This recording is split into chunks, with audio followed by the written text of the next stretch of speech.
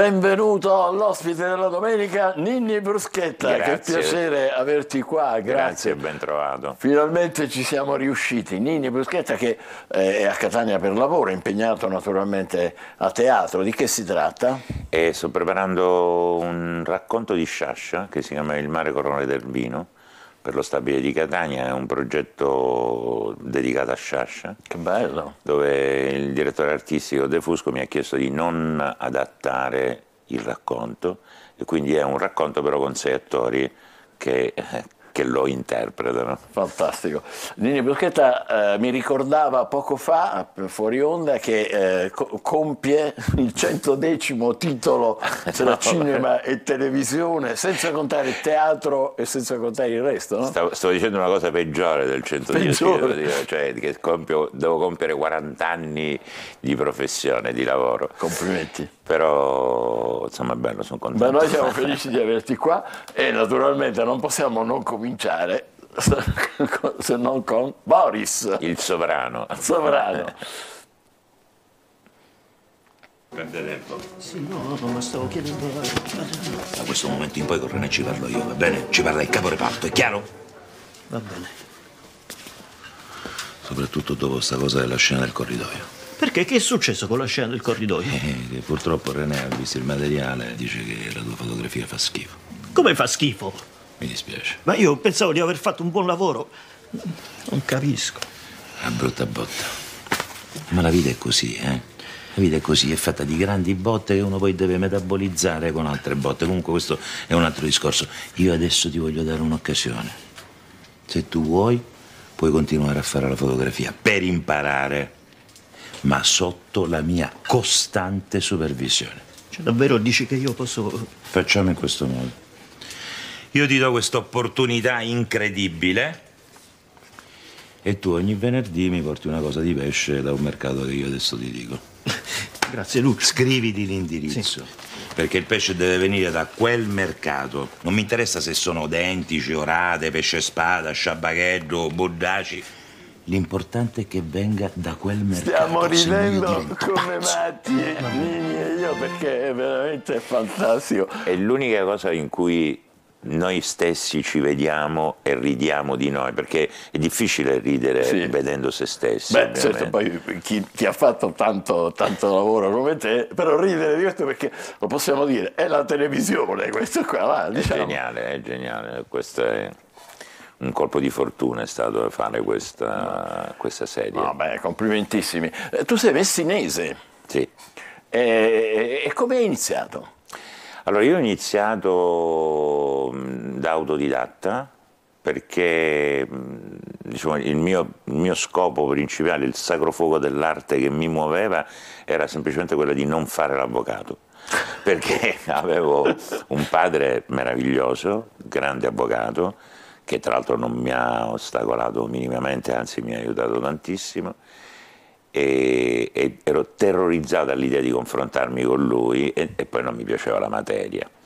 No, ciononostante ho studiato giurisprudenza eh, senza essere obbligato, ma perché lui mi ha consigliato di farlo. Non l'ho finito dopo 18 materie, ma nella vita mi è servito tantissimo.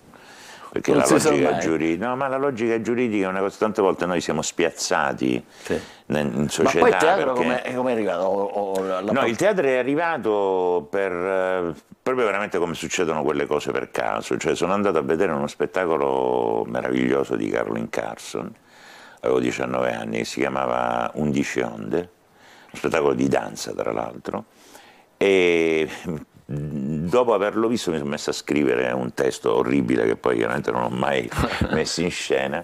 Avevo la Olivetti 32 32, quella verde, che no? non potevi scrivere di notte per quella verde, bravo. che c'era quella, quella azzurra che mi pare che era la 22. più grande o eh. più piccolo. E, e quindi non potevi scrivere di notte, dovevi scrivere per- perché faceva un rumore, Rumore. tremendo. E ho buttato giù questo testo, poi l'ho fatto leggere a un mio amico giornalista, un tuo collega Franco Cicero della Gazzetta del Sud, e lui mi portò da- dal mio primo maestro, che si chiama Francesco Vadalà, è un regista che purtroppo non, non è diventato un regista conosciuto, ma è quello che mi ha insegnato veramente sei, a sei fare teatro. diventato direttore artistico del Teatro di Sì, Messina. eh? sono stato due volte a Messina direttore del teatro, E- prima a fatto- 34 anni. Hai fatto stata- tanti, tanti spettacoli anche lì. Eh beh, voglia. Messina Però ha fatto hai recitato anche nel mio nome è Caino di Fava, Claudio Sì, Fava. sì, sì. Vediamolo un attimo. Il mio nome è Caino perché la prima persona che ho fatto ammazzare era come un fratello per me. Uno con cui ero cresciuto, con cui avevo diviso le donne e il pane. Scusa, ma di che cazzo dice che lo stai parlando? L'ho portato io a morire. Io ho ucciso perché era il mio mestiere. Lui non lo sapeva. Io sì. Se si incide con un temperino a croce la punta della pallottola, È un L'altra testo faccia, come dire. Tragico, però poi è molto bello, questo lo facciamo con eh, Cettina Donato al pianoforte e diciamo, è un- è un- diventa una jam session oltre che, Certo. che un monologo teatrale. E- ed è, è importantissimo perché questa è la storia di un, mia- di un mafioso scritta da una vittima della mafia come Claudio Fava, Certo. eh, però che si mette dal punto di vista Dell'assassino. quello che proprio suo padre chiamava gli uccisori, cioè quelli che lui, lui li giustificava, perché fanno, fanno semplicemente il loro mestiere. Perché li capiva. Disgraziatamente sì, forse anche perché non sapeva che poi avrebbero ucciso lui. Povero, sì. lo ricordiamo sempre con molto rimpianto. Eh, poi hai fatto tra l'altro la misteriosa fiamma della regina Loana, tratta da niente meno che da Umberto Eco. Umberto Proviamo a vederne un momento.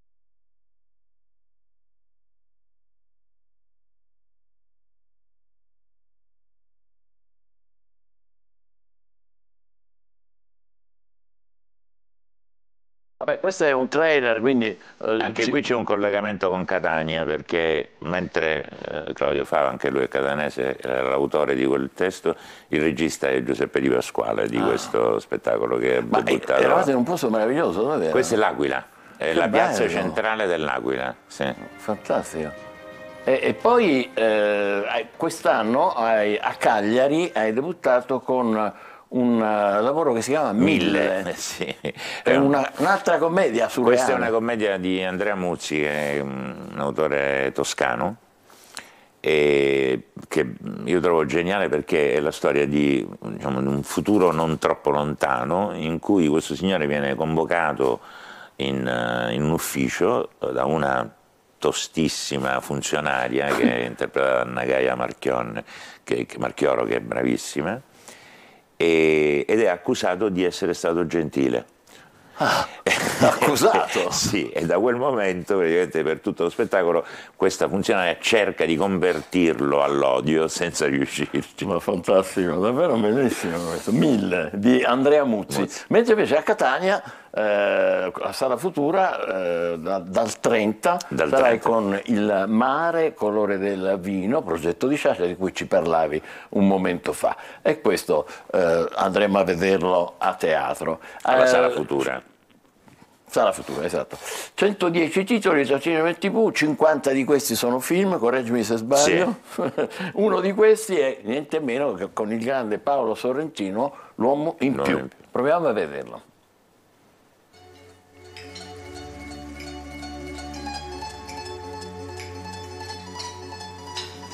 Jenny, vieni un altro po' d'aragosta. La liscia l'hai presa? Assaggia storate.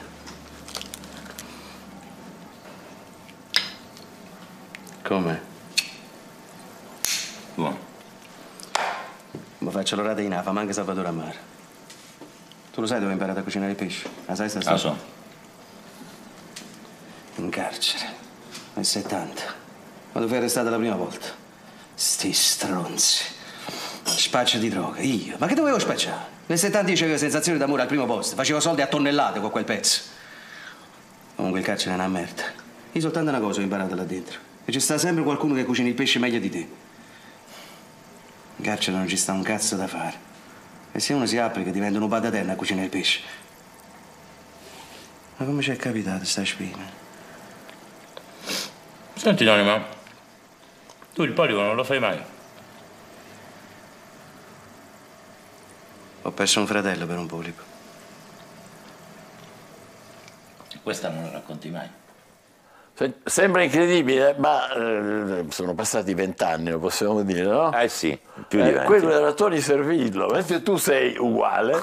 Tony Servillo Non lo è- dire, si offende. suo- suo Se- fratello- se per caso in Sicilia ci più giovane, è vero o no? Cioè, Io l'ho riconosciuto dal sorriso, questa sua tipica espressione, oltre ad essere bravissimo naturalmente, per carità, però è incredibile. Lo shock che però ricordo di questa scena è che quando lavori con un, un genio come Sorrentino, che Sorrentino. a quei tempi era un ragazzo anche lui, che, che Paolo ha dieci anni meno di me, e che c'ha, erano le nove e mezza del mattino e non ci ha neanche chiesto, cioè ci ha semplicemente detto che avremmo dovuto mangiare tutto quello che stavamo mangiando. Nove e mezza del Mi mattino. ricordo che fin- finita la scena verso l'una sono tornato in albergo e ho dormito fino alle 6 del pomeriggio, ero Certo, c'era devastato. la tavola stracolma. Poi nel 2011 è arrivato il film Boris, e noi adesso abbiamo visto un, un momento, però ne vedremo altri perché naturalmente è diventato poi la serie più, più amata, culto,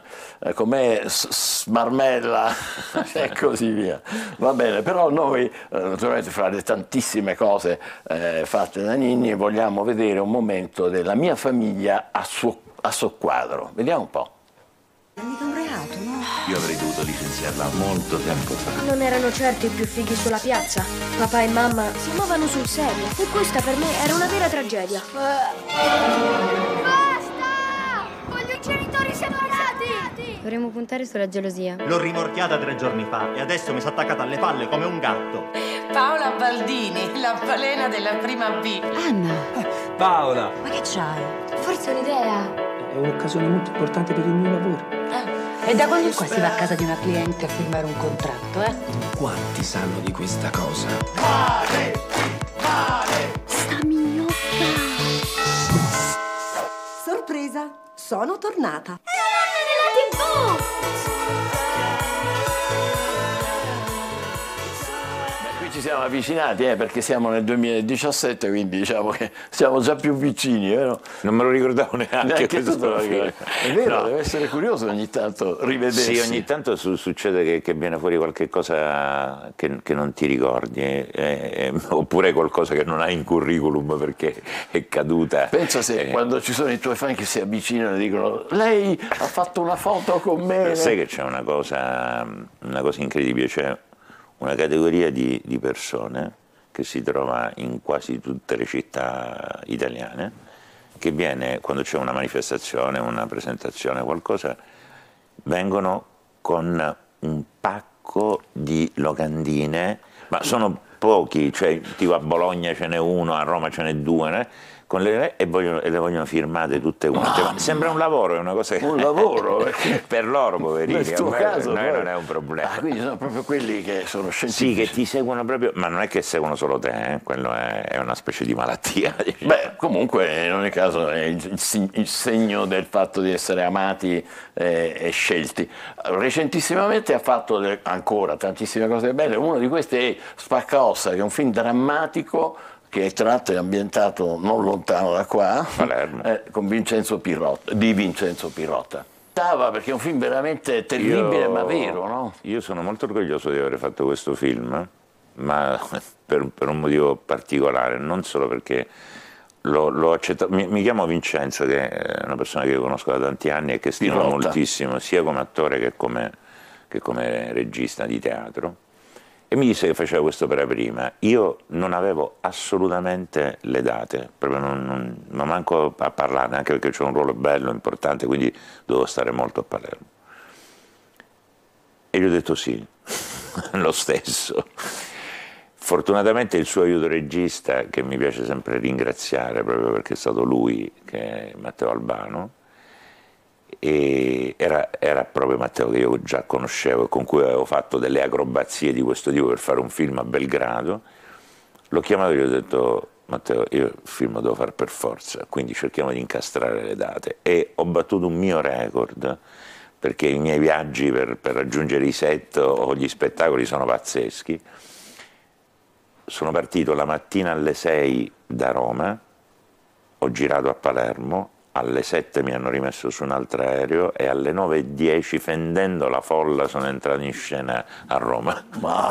è stata una cosa Sì, meravigliosa. folla, Ho, è ho preso male. sonno tipo alle 5 del mattino perché ero, ero talmente carico di, di adrenalina che, che non avevo voglia neanche di andare a meraviglioso dormire. perché nessuno di noi può immaginare che cosa c'è dietro il No, la cosa più bella è che quando stai in aereo, mentre vai a girare, ti ripeti la parte che devi girare e poi quando torni ti ripeti la parte che devi recitare. Uno per serie. Volta, giusto? Certo, devi farlo staccato, se no Devi farlo staccato. Senti, ma questo Spaccosa comunque è una storia cruda ma eh, La storia è pazzesca perché è una storia di, di- di pura malvagità, no? di male puro, che non passa neanche attraverso la mafia e niente. E- ed, è, ed è, secondo me rappresenta una cosa importante, è proprio l'idea di guadagn- del guadagno facile. Eh, fatta attraverso la, la violenza pura che era appunto quello di spaccare le ossa le ossa. alle persone che venivano pagate tra l'altro con delle cifre irrisorie rispetto a quello che poi con questa truffa loro prendevano dalle Prendevano, assicurazioni. Sì. Veramente terribile. Invece questo è- andiamo con gli anni belli di Lorenzo, Lorenzo D'Amico. Questo è più è un po' diversa l'atmosfera. Vediamo. Questo è il trailer, eh? non, non- Ok, ok. Ti chiedo scusa sono d'ora. tutti i trailer, è normale. Contro il nuovo fascismo celato non che il popolo bue ha votato alla cieca. E che noi non dobbiamo assolutamente permettere. Eh, sai qual è il risultato? Che a me mi toccherà farti studiare greco tutta l'estate. Come tutta l'estate? Tutta l'estate. Mamma? Non fa rispondere su tua mamma perché è troppo tempo. Ti pareva?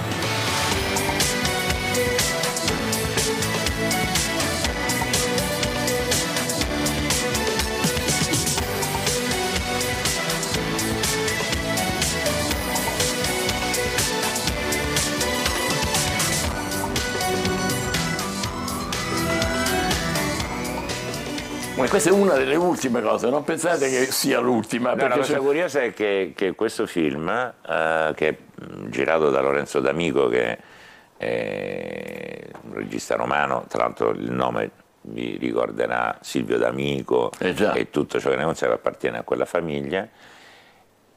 Curiosamente ci sono tre messinesi, perché la sceneggiatrice è Anne Ciccone che è messinese, Maria Maria Grazia Grazia Cucinotta, è messinese e- e io. eh, Com'è stato il rapporto con la cucinotta? Come, come No, io sono, sono- posso, posso dire di essere un amico di Maria Grazia perché eh, l'ho conosciuta molto tardi rispetto al fatto che veniamo tutte e due da Messina, e, però abbiamo fatto diciamo, inizialmente due strade completamente diverse perché io sono partito dal cinema indipendente, dal teatro, eccetera, eccetera, e, e ci siamo incontrati per la prima volta su una sua produzione. E lei ha- è una produttrice eccezionale Ah, ecco. e quindi abbiamo fatto, abbiamo fatto amicizia, siamo divisi tante cose. Ho fatto due film prima con lei e poi questo qui che, che era appunto che- dove lei non era produttrice ma era mia moglie, diciamo. Fantastico. Allora, vi dico solo questo, che in uscita ci sono di Nini Bruschetti, il nuovo film di Walter Bertroni, io e mio fratello di Luca Lucini, Jeans in estate, Didi, Didi, Di, Whisper. della Ruggeri, una, una- una ragazza, no, di D e di Whisper, di Whisper, e Whisper. poi L'albero dei limoni di Bruno Colello. Bruno Colella. Colella, scusa. Questi, questi sono soltanto proprio le ultime. No, poi c'è anche i bastardi di Pizzo Falcone. E... Ah, Bastare Pizzo Falcone, questo, questo è... Sì, e, non mi ricordo se c'è qualche altra cosa di televisione. Però, Però tu credo. ci perdonerai, ma Ah noi sì, ce n'è un'altra ma non la posso dire perché è top secret. ancora non si sa. Sì. E quindi è pieno ancora di ulteriori sorprese. Però tu ci permetterai di rimergerci in eh, Boris. Ok. Dai. Cioè?